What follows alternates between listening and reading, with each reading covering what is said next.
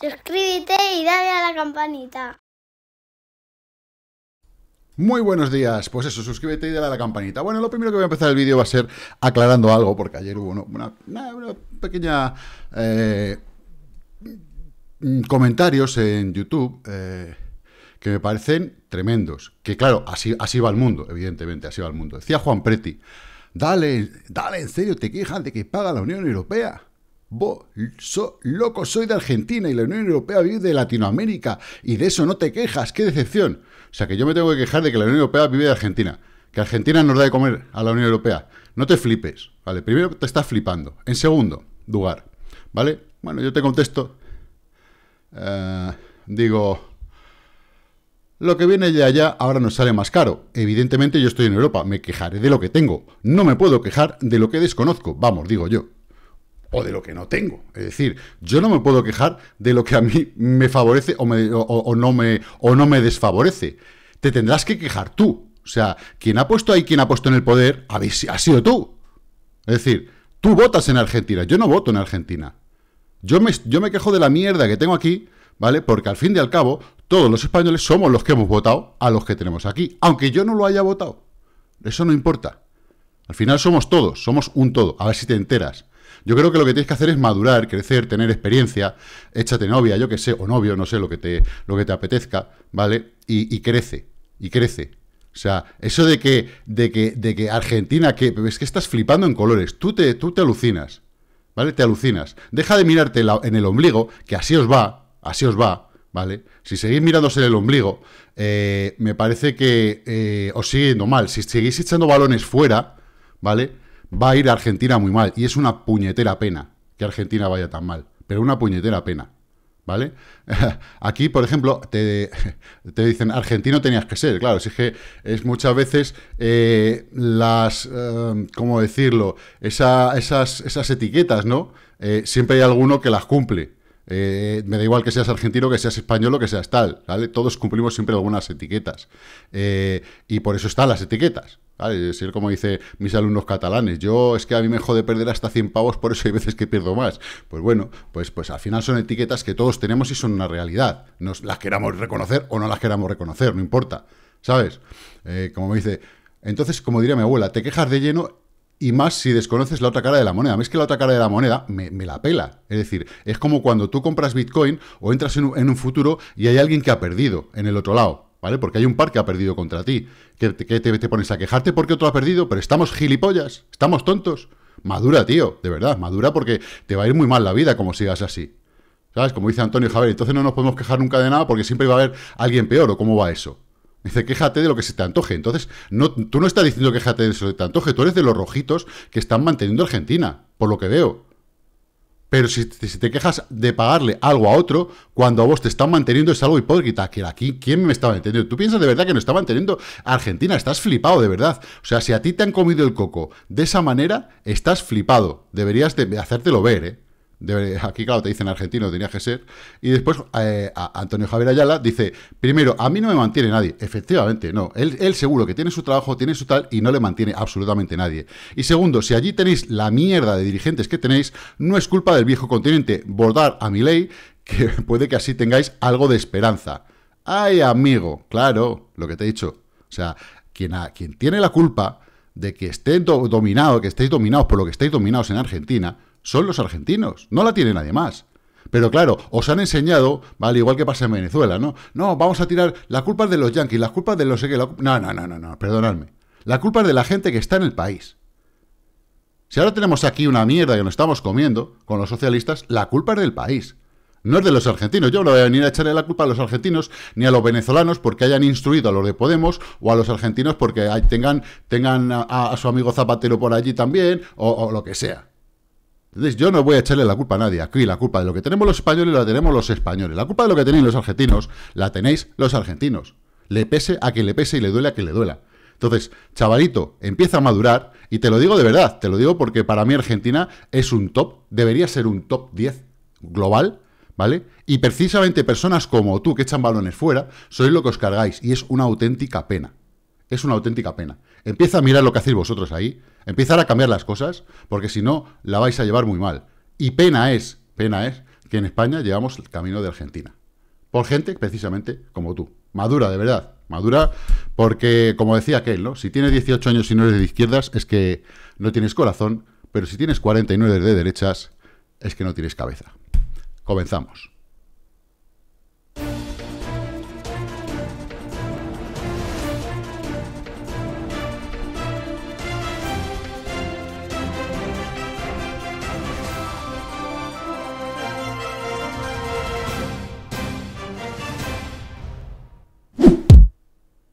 Suscríbete y dale a la campanita. Pues eso, como dice mi niña, suscríbete y dale a la campanita que ya iremos haciendo cosas chulas, chulas, chulas y que valgan para algo. En vez de llorar y quejarnos, seguramente pues eh, conseguiremos cosas. Hay que quejarse, hay que preguntarse todo. Eso es conocimiento. Si sabes de, algo, te vas a quejar y vas a poner todo en duda. Si no sabes de nada, irás con un borrego para adelante. En fin, chicos, eh, bien, Bitcoin sigue haciendo lo que tenía que hacer, es decir, lateralizar en esta zona, esperando a que abran los futuros del CME, típico de cada fin de semana, pero dominancia. Vuelve a intentar caer, vamos a ver qué pasa luego por la noche. Muy bien la vela de ayer, finalmente casi, casi, casi, casi llegó al final del anterior. Eso es muy bueno y el total market cap hoy nuevamente de momento abre al alza. ¿Esto qué quiere decir? Pues que posiblemente tendremos algunas altcoins, y las tenemos, ¿vale? Están dando sorpresas. En cuanto al oro, sigue, lo vemos totalmente paralizado, lateral, hasta que abra el mercado. Las acciones dentro de unas horas empezarán a tomar posiciones. De momento sigue muy, muy paraditas. Y las altcoins, vamos a ir a ganadoras, perdedoras. En el lado de las ganadoras, de momento, de momento, tenemos ZRX, que lo ha hecho muy, muy bien. Yo soy un gran admirador de, ZRX desde los principios de los tiempos. Lo que pasa es que, bueno, pues no, no salió la cosa como, como iba a salir, pero, fijaros, ahí está. A muy largo plazo, sí es una de las que poquito a poquito van haciendo mínimos ascendentes, tendrán que hacer luego este máximo, lo tendrá que volver a pasar en su día, y bueno, es una cuestión de muchísima paciencia, y yo tengo paciencia, pero muchísima paciencia, ¿no? Entonces, bueno, en su día la he tradeado, la verdad es que la he tradeado muy, muy bien, todavía me queda algún poquitillo de entonces, de aquel entonces, y bueno, pues ahí está, eh, son de estas cosas que no piden pan, ¿no? Como cuando digo, invierte en este proyecto a dos, tres años vista, y, y luego lo miras a ver, entonces, bueno, yo compré en el 19 eh, y bueno, pues está bien, la cosa está bastante bien, de más o menos del verano del 19, a ver que yo lo vea, ¿dónde estamos? Esto es noviembre, más o menos yo creo que fue en julio, por ahí, vamos a ver, agosto, me da igual, que esté más abajo, no me importa, pues llevamos ahí un recorrido interesante de un 268%. Entonces, da igual, la cantidad que hayas metido, que la hayas multiplicado por 2,65, incluso más en algunos momentos, ¿vale? Pues está bien, está muy bien. Eh, en este momento estuvo, ¿vale? En un por 10. Aquí vendí yo parte, una parte importante, y luego dije, vamos a dejar a más largo plazo otra parte. Eh, esto es eh, invertir a largo plazo. Imaginaros lo que se compró en la ICO privada. ¿Vale? Es un poco la visión que os quiero hacer ver. Eh, hay monedas que las cuales se puede invertir a muy largo plazo. Eh, no hay por qué tenerlo todo a 10 minutos. Dentro de 10 minutos quiero venderlo y que, y que ya tenga un 5%. Eh, eso es solamente una pequeña parte de nuestra cartera. El resto va a largo plazo y funciona. Ya os digo que funciona. Entonces, bueno, tengo todavía de estas antiguas, fijaros si tengo algo, algo de esos trocillos que, que hay por ahí, pero bueno, si tienes 200 pavetes ahí que no te molestan para nada, pues oye, eh, que sigan creciendo y si crecen más, pues bienvenido sea. Si vuelve a tocar posiblemente la otra vez los máximos y veo que el mercado mmm, no va a pasar de ello, pues, pues la venderé y si veo que puede pasar, pues, pues la dejaré. Eh, cada una tiene, cada, cada, cada cosa antigua, por ejemplo, las que tengo muy antiguas, tiene su calendario y ya está. Um, Olo. Olo también está aquí intentando salir al alza, hizo suelo en la zona que tenía que hacerlo y bueno, pues bastante bien. ¿Veis cómo ha roto? A ver, esto es interesante porque vemos, toca 100, toca 100, ¿vale? Vuelve atrás y al final la revienta. Perfecto. Este máximo es el que tiene que pasar al cierre. Es decir, que una vez que haya confirmado que este máximo está pasado al cierre, luego ya puede hacer otro retroceso para intentar ir a por la de 200, porque también la va a tener que esperar. Entonces va a tener que hacer una pequeña banderita ahí de dos, tres días, ya veremos. O a lo mejor sale disparada. Bueno, estas están así de locas. Pero mm, no lo, yo no lo veo, no lo veo, ¿vale? Pero bueno, que, que irá por la de, a la de 200, bueno, pues no me cabe la menor duda. Eh, que lo vaya a intentar, no quiere decir lo vaya a conseguir, ¿vale? Eh, TVK también, un 9,45%, la verdad es que muy, muy bien, haciendo el movimiento perfecto, ha estado por encima de la de 50, ha de hecho muy sólida esa posición y venga, vamos a por la de 100, ¿vale? Va un poquito más lenta. Lo importante es que esta tendencia que tenía descendente está convirtiéndose en horizontal para luego intentar pasar a ser ascendente. Está el mercado en general tomando unas posiciones bastante buenas. Ya esto es como todo, ¿no? Luego cuando tienes una buena posición ya viene alguien y la jode, ya veremos.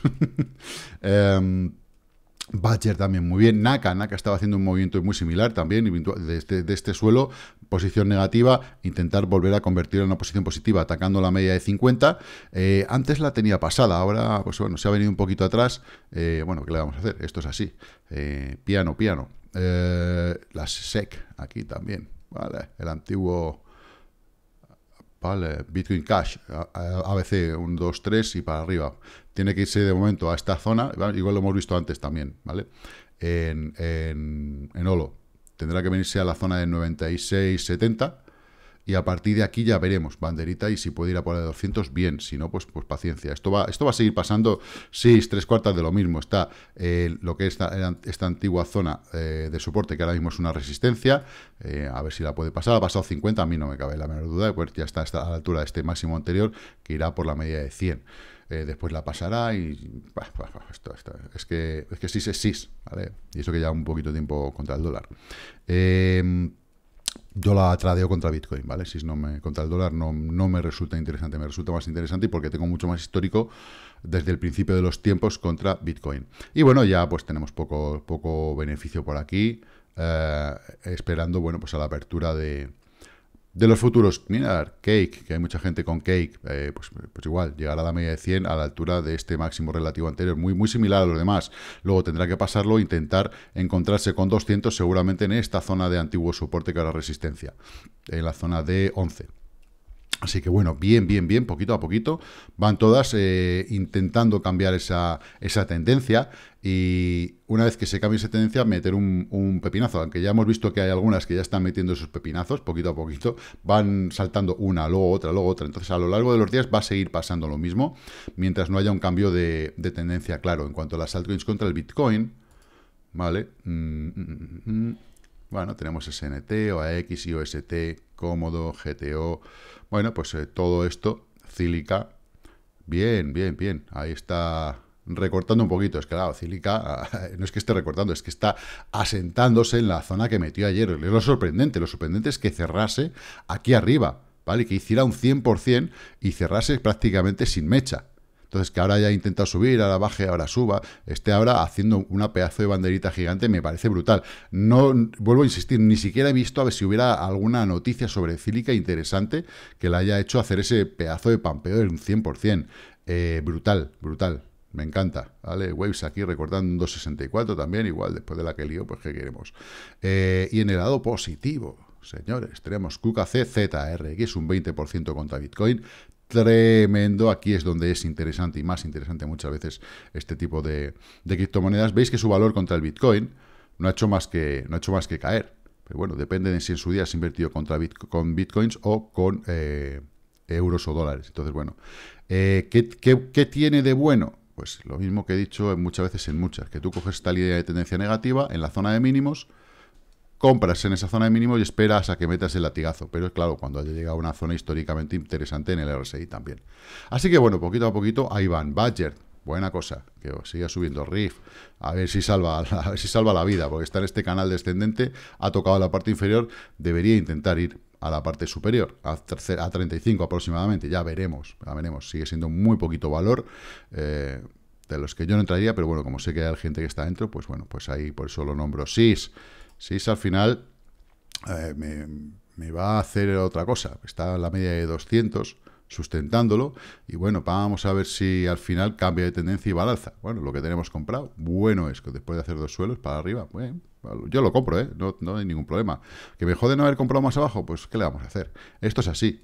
Em, y bueno, bueno, tenemos aquí disparos del 4, del 8, de una, mezcla rara eh, que me hace esto cuando, lo, cuando le digo que me lo ponga Verge, 8%, muy bien.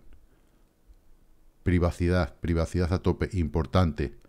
Bien, Loom Cake 2%, 2,80 contra el Bitcoin. T-Fuel 2,66 también, muy bien.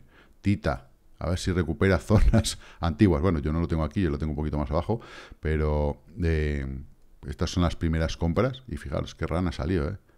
Qué mal, para que veáis, todo el mundo se equivoca haciendo trades, y yo el primero. Em, y bueno, pues ahí el resto bastante bien, bastante estable, y pocas, pocas en, pérdidas, y, tampoco son pérdidas que sean importantes, ni mucho menos en el mundo de las criptomonedas. Así que bueno, vamos a terminar con Bitcoin nuevamente.